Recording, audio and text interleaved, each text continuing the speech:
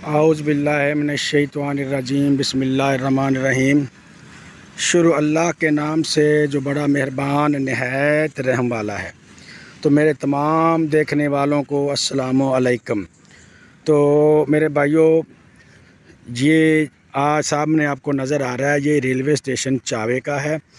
और ये भी बड़ा ए, पुराना और कदीमी स्टेशन है। ये लगभग अठारह सौ बासठ में बनाए गए हैं। कोई कोई जो स्टेशन इस ट्रैक है वो अठारह सौ चौंसठ का है। तो ये अंग्रेज़ों के दौर का ये बना हुआ ट्रैक है और ये बड़ा कामयाब ट्रैक है। रेलवे का जो सफ़र है वो बड़ा आरामदेह होता है। तो जब यहाँ पे ट्रेन चलती थी तो इस स्टेशन पर बड़ी रौनक होती थी स्टेशनों पर बड़ी रौनक होती थी और ज़्यादातर लोग ट्रेन का ही सफ़र करते थे। तो ये मुल्क का सरमाया है, अगर गाड़ी चले, ट्रेन चले तो लोग इसमें सफ़र करें इंजॉय करें और इसमें मुल्क की मीशत में भी इजाफ़ा होगा इनकम में भी इजाफ़ा होगा। तो ये है मेरे भाइयों, आगे सामने आपको नज़र आ रहा है रेलवे स्टेशन। हम आपको वहाँ पे लेके चलते हैं। ये है ट्रैक और ये है साथ साथ इसका रकबा। यहाँ पर देखिए आसपास बड़ी अच्छी फ़सलें होती हैं, जरखेज़ रकबा है और ये सीधी चली गई बहावल नगर की तरफ़, आगे फिर चिश्तियाँ की तरफ़ चली जाती है। तो हमने चाहा कि आपको इसकी अब मौजूदा जो कंडीशन है वो आपको दिखाते हैं। पहले भी आपको दिखाई थी, लेकिन आज फिर हमको मौका मिला। तो ये है ट्रैक, मेरे भाइयों, यहाँ पर आकर ट्रेन रुकती थी। तो ये है, आपको नज़र आ रहा है, सामने ये ट्रैक बना हुआ है। तो ये बिल्कुल अभी तो ऐसे है, जैसे बिल्कुल ख़त्म हो गया, कंडम हो गया। तो ये सामने आपको नज़र आ रहा है, लोहार का अड्डा। ये अड्डा लोहार का है स्टॉप जो लगता है बस का और रेलवे स्टेशन चावे का। तो ये रेलवे स्टेशन है, ये चावे का रेलवे स्टेशन है। तो आपको आगे लेके चलते हैं। और ये बड़े एक ही डिज़ाइन के रेलवे स्टेशन बनाए गए हैं, जो ज़िले ज़िले का स्टेशन होता है, जंक्शन होता है, और जो उसके दरमियान जितने भी स्टेशन हैं, दो, तीन तो वो एक ही नक्शे के बनाए गए हैं। उनका नक्शा एक ही होता है, एक ही डिज़ाइन से बनाए जाते हैं।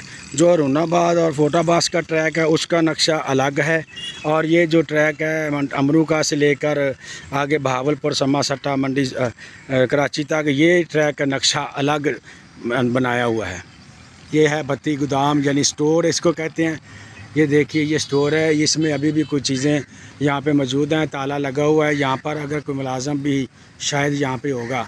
यहाँ पे स्टोर है, इसको स्टोर है। यहाँ पर चीज़ें स्टोर करते हैं, सामान वगैरह जो आता है यहाँ पर रखते हैं। तो ये है मेरे भाइयों, स्टोर रूम, बत्ती गोदाम इसको कहते हैं। तो आगे आपको चलते हैं लेके स्टेशन पर।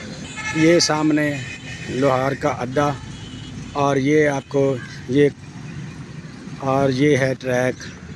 जो सीधा चले गया मिंचनाबाद, मंडी सादकगंज और अमरू का पाकिस्तान का आखिरी स्टेशन। और ये है मेरे भाइयों, सामने आपको नज़र आ रहा है रेलवे स्टेशन चावे का।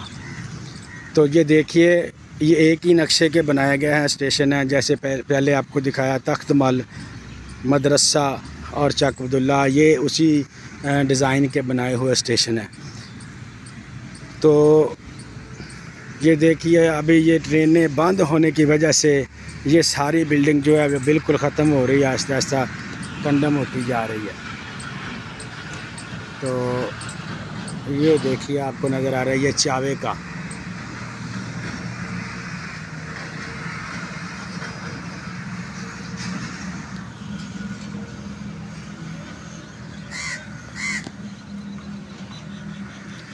ये है, आपको नज़र आ रही है चावे का रेलवे स्टेशन, जो कि बहावल नगर से सिर्फ़ 12-13 किलोमीटर की दूरी पर यह वाक़ है। और ये देखिए, इसकी बिल्डिंग जो है, वो बिल्कुल आहिस्ता आहिस्ता ख़त्म होती जा रही है।